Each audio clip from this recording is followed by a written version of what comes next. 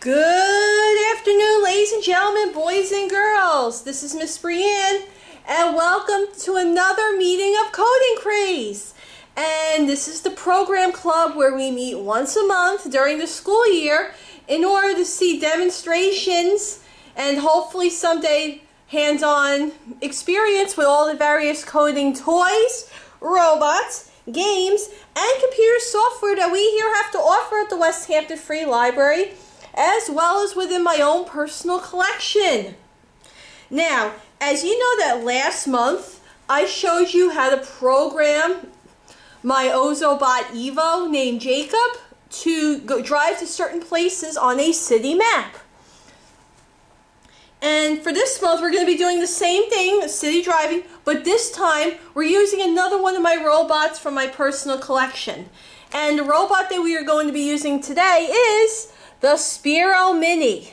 It's just a little ball-shaped robot. You can see in my hand just a bit, just nothing but a spear. And it is the cutest thing that you'll ever see. All right.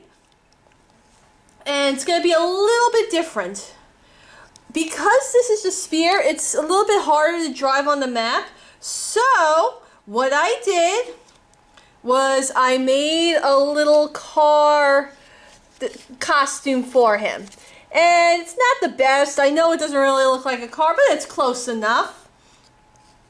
And we're, I'm going to show you how to use the Sphero EDU and the Sphero remote control in order to drive our Sphero Mini to certain places on a map. And this one's going to be a little bit, there's going to be no flashing lights like in Ozobot Evo, so you don't have to worry about that. Alright, but with that being said, are we ready to begin? Alright, so, what we're going to do is we're going to, and, and the Sphero Mini and the Sphero apps that I'm going to be showing you are from the company Sphero. So if you're interested in more of their products, let me just turn down the volume here. Please click on the web link in the video description. All right, so like that, with that being said, are we ready to begin? Uh, I am just going to get the wireless on and make sure my Bluetooth is on because we don't need, unlike the Cosmo, we don't need wireless to connect. We just need a Bluetooth connection. So, the first thing we are going to do, if I can find it, we are going to find the Sphero EDU app, which is right next to our Cosmo app, and we're going to tap on that. And the screen appears. Now, we got this little intro screen, and what we're going to do is we're going to connect the app to our Sphero Mini. So we're going to tap on this little robot here, and it's looking for robots hopefully you can, and it looks like it can detect, so we're going to touch that, and we're going to make sure this connects, and there we go. Once it lights up, that means it's connected. Alright, so what we're going to do is we are going to place our Sphero Mini, actually we're going to place our, the back of our car costume on the road, and we are going to place our Sphero Mini inside does seem a little bit... There we go. And we are going to calibrate. But first, before we do that, we're going to touch the program.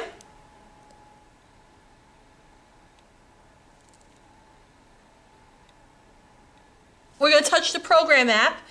And we have a variety of different programs that I created.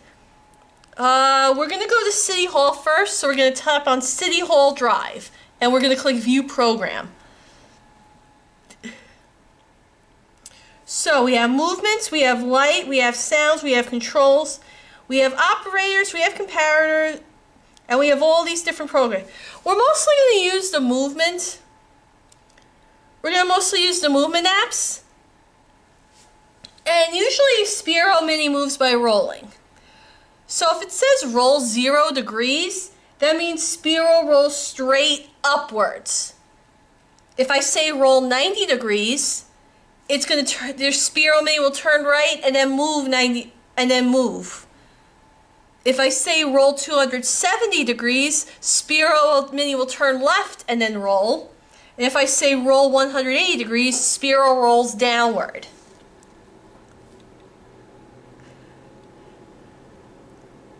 So what I'm having them go straight for a few seconds, turn turn right and move for a few seconds, and then go back straight again.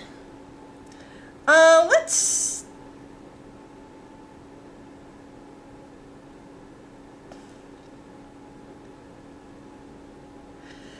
let's change the color. Let's fade from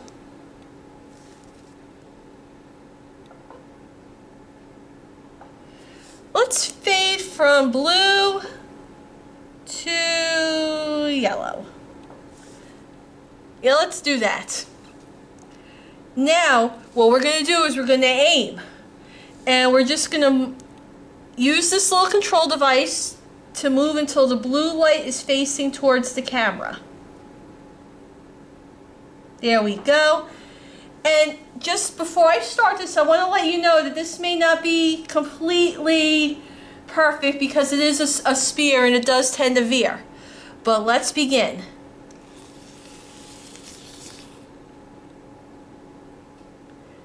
There we go. Right on City Hall. So that's our City Hall program. So now we're going to put our Sphero Mini back into position.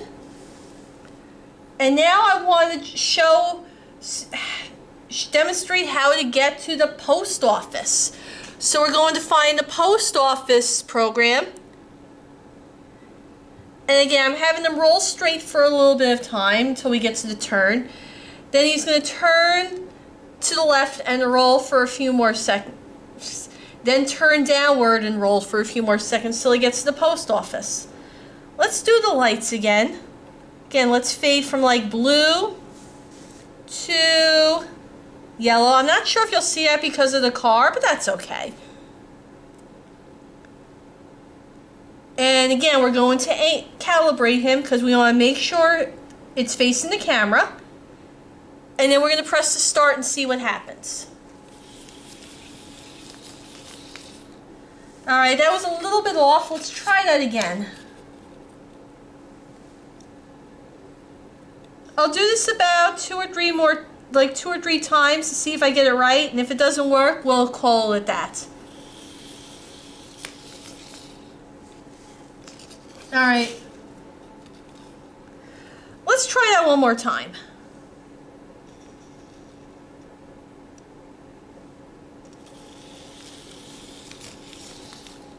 There we go. Like I said, because it's a spear, it doesn't really work as well as, it, as the Ozobot Evo does. But it serves our purposes. Alright, so let's put it back into starting. Now I want him to go to the li library. So we're going to find the library program right over here. View. And again, we're going to go straight for a little bit longer until we get to the road. Then turn right and roll for another few seconds. And then turn upwards again to go to the library. Now again, we're going to do our little light. Oops. We're going to do our little light movement. Going to fade again from blue. Actually, let's do that darker blue. Back to yellow. We're going to aim.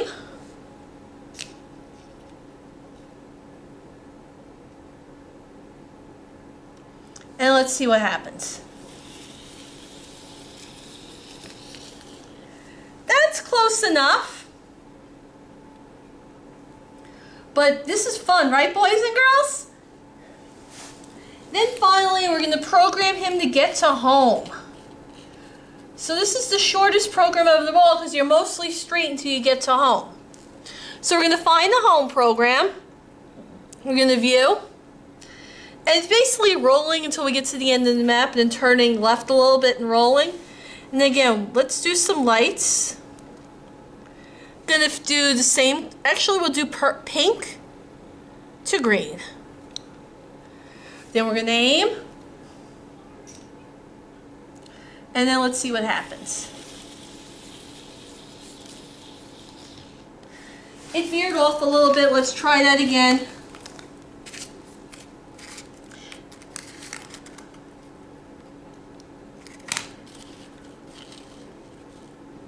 Like I said, it's not perfect. It's not perfect because it is a spear.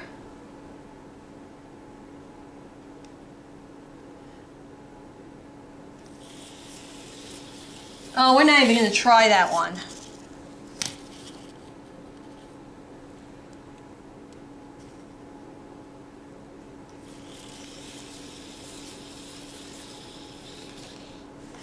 Alright, let's try that couple more times to see if we can get it. This was my hardest one, to tell you the truth.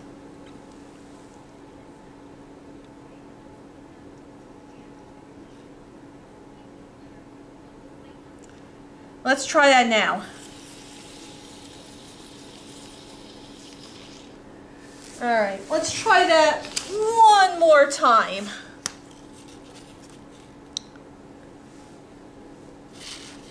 And if it doesn't work, oh well. Like I said, I think it's best to have a maze with like side walls with a Sphero Mini. You know what? That's close enough. But as you can see, if, unless the maze has sidewalls, it's hard to control your Sphero Mini with a maze like this. Alright. So,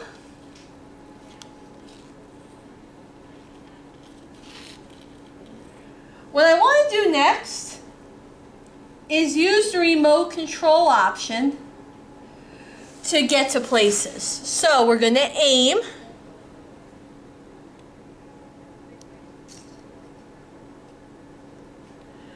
And then we're going to control Sphero to get to certain places. Let's see how this works. First, City Hall.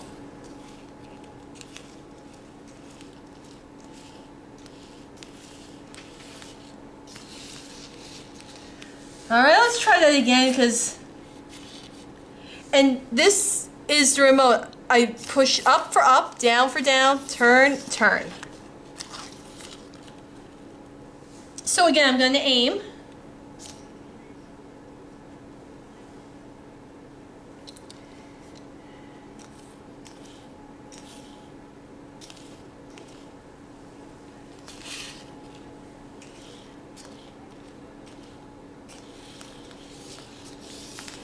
Close enough. Like I said, this is much better if the maze had sidewalls, boys and girls. So here's a lesson learned. If you build a maze for a Sphero, make sure it has sidewalls.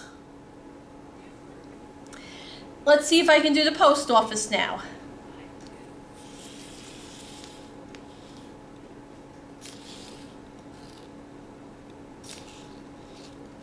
There's the post office.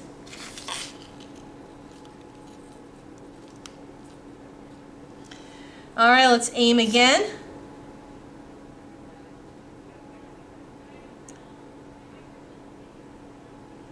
All right, now let's see if we can get him to the library.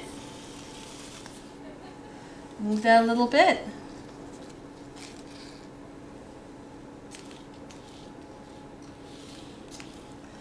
Now let's try that again.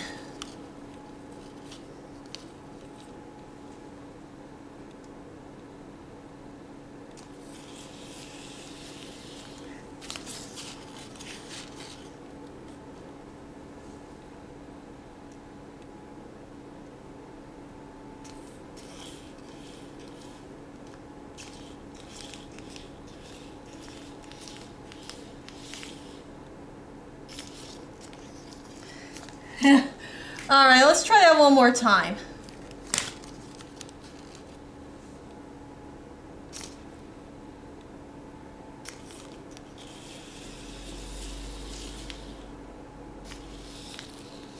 Good. Oh, let's go back a little bit. Good enough. Then finally,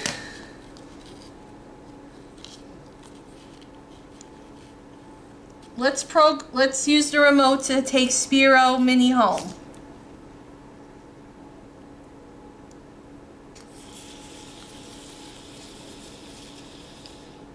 And that is good enough. All right. So now you've learned how to use the remote and you've learned how to use the programming blocks in order to program to program your Sphero Mini to drive through a city maze.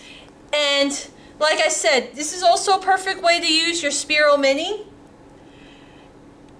If one, you either make a better car disguise unlike the one I made, or use a maze with sidewalls. But anyway, that's how you should learn how to, to program your Sphero Mini, or use your remote to drive to different parts of a city map. And you can make your city map as big or as small as you want, and you can program your Sphero Mini to go to as many places as you want. Anyway, I hope you had fun with this today. I certainly enjoyed showing you this amazing app and this amazing robot, and I'm looking forward to the next meeting. But until then, please check out all the other programs that myself the other children's librarians here have to offer at the Westhampton Free Library. Looking forward to seeing you again, but until then, this is Miss Brianne saying take good care of yourselves, have a great day, and I'll see you next month.